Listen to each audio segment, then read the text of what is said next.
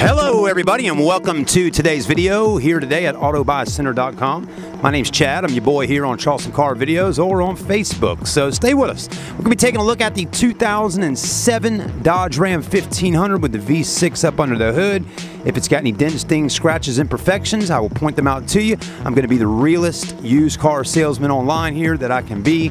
Again, I am not scared to show you the dents, stings, scratches, or imperfections that a vehicle has. That will make my life easier and your life easier before you take your time to drive all the way out here. Your time is valuable, my time is valuable, so let's have a respect for each other not waste each other's time. If you're interested in something, make me an offer on a cash price and we'll get the deal done. So anyways, this one's black in color.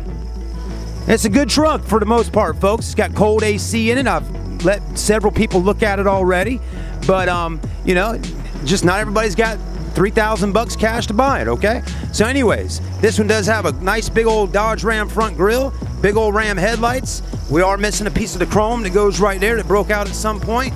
The black looks fine though on the actual truck. It definitely could use a little wash right now, but it's still nice and shiny.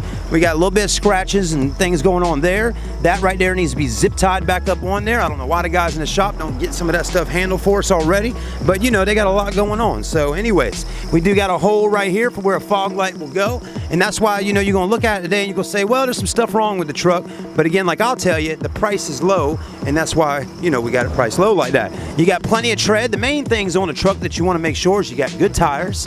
If you got rocks in the tread, you know you got tread. You got chrome wheels. Okay, the chrome definitely does start chipping after a good while. It's a 10-year-old truck. Things start going wrong with them, you know. 1500 series. The window tint here, whoever tinted these windows at one point obviously didn't do too great of a job and it started doing that number right there. I'd peel that off and go get them retinted or I don't have any tint on there. You do got the paint on the Dodge is starting to chip off here. As you can see, the clear coat all the way up here is gone and it's just making its way right on down to disappearing right in there.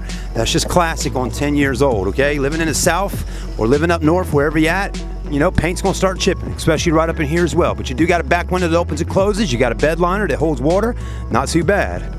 You do got some uh, rust going on here. You can see that right there, pretty plain as day. It's happening right here as well. We call that cancer in the car business. car got cancer on it, okay?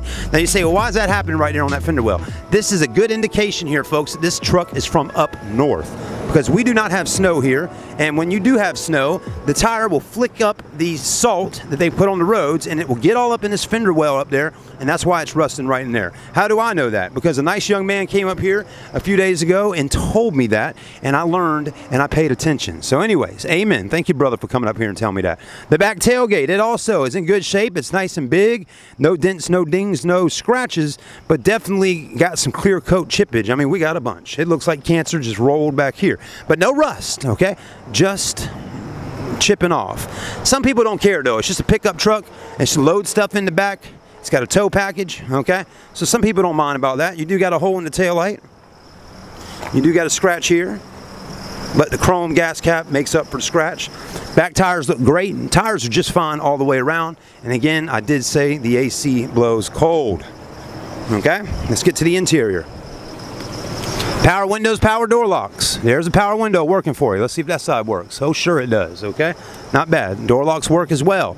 You do got a rip on the seat right there. You know, hey, your butt coming in and out, sliding right there is going to make a rip, okay? Just remember that when you're sitting inside your truck after 10 years. There's the top. Headliner's nice and clean. Again, AC blows cold. Definitely colder than what I got in my car because I don't have a damn bit of AC. This is what you call 255 air if your car had no AC. Two windows down, get 55 miles an hour, gives you air. You don't need 255 air. You already got it. Very nice. Anyways, now the major question here that some of y'all ask is how many miles is on this Dodge Ram? Well, let me blow you away. Here we go. Let's go ahead and close this door, see how many miles we got on this thing. Oh, I love the cold AC. I could sit in here for hours. I mean, it's so comfortable. Anyways, let's take a look. Let's see, let's turn that off for a minute. Find a button in here to find out how to get the mileage on there. Oh, here we go. 161,979. So again, 161, just a few miles away from 162,000 miles. We are missing the uh, rear view mirror. It may be in the glove box. Nope.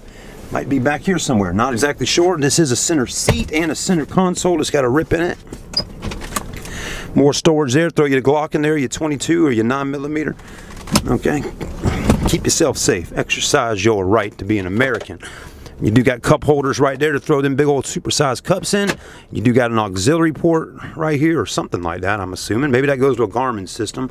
Not exactly sure.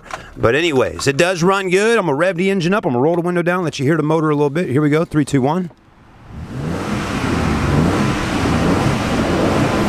V6 sounds great. This is not a Hemi, but again, it is a V6 by Dodge and uh, should get a little bit better fuel economy than the V8.